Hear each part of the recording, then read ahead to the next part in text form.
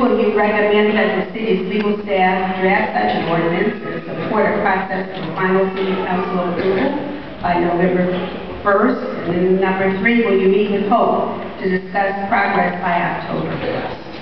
Thank you. Let me just say first that I'm thankful to have this opportunity to be here this evening.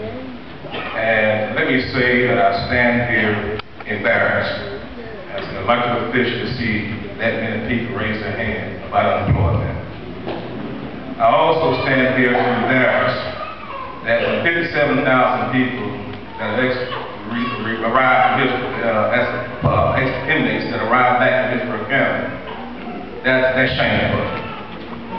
And I also feel embarrassed because when I look around my district and two of the zip codes that you mentioned in this order, order consist of my district, 33605 and 3310. I'm embarrassed. So as I stand here for number one, if you're willing to work with me to convince our economic development director and the mayor of the city of Tampa to support this, I will work and lead that uh, charge for us.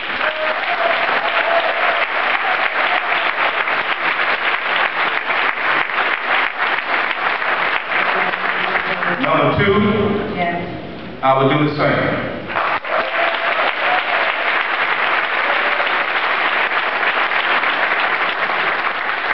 And the last item, I believe I have representatives for you more than once.